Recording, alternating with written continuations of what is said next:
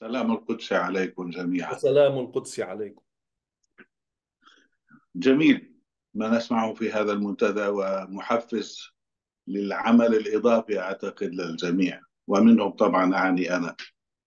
آه، ورد في بعض التعليق أو المداخلة للبعض. لا أذكر الاسم الآن بالضبط بس كان هناك الكلام عن هل أمريكا ستحارب حربها لحماية الكيان.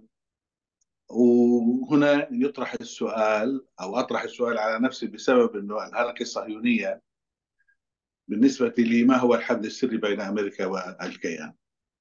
الحركة الصهيونية بنشأتها بدأت وعرضت نفسها كأداة للحلف الانجلو ساكسوني الذي كان يمارس الاستعمار من مئات السنين ومسيطر. وكانت هذه الأداة في يد الإنجليز عندما انتصروا في حربهم ضد الدولة العثمانية في الحرب العالمية الأولى.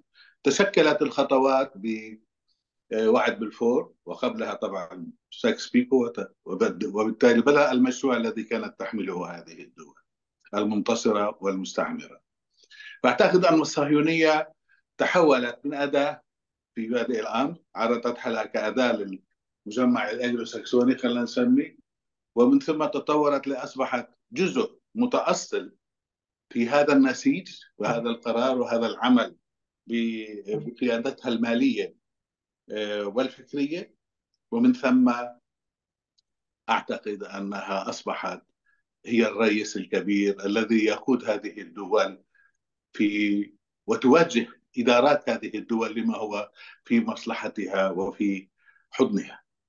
ولاستعمالها فهذه القوة لكي نرى أن هذه الدول لم تكن وطنية بقدر ما في تطوير نفسها. أوروبا كلها اعتمدت على المظلة الأمريكية والحماية الأمنية الأمريكية على أيام الاتحاد السوفيتي ولم تستطع أن تطور هذا السلوك في الحماية.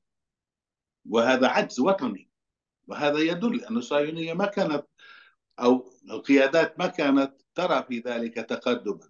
فعلينا وأمريكا الآن آه، نميز يعني أنه الموضوع ما كان يبحث عن تطوير أنفسهم بقدر ما هم ارتاحوا في القرار وارتاحوا في الحياة بطريقة المال التي كانت قيادتها صهيونية ومحركها الأساس الصهيونية ومالكي آه، المفاتيح في هذا في هذا المجال الذي حولوا كل الاقتصاد من صناعي وبشري ونفسي ومادي إلى اقتصاد مالي بنكي.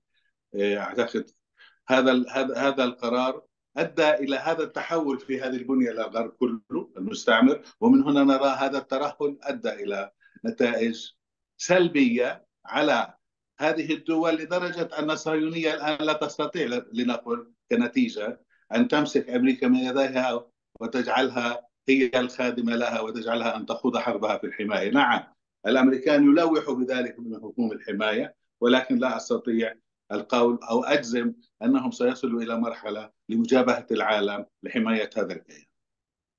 شكرا. شكرا أستاذ محمد.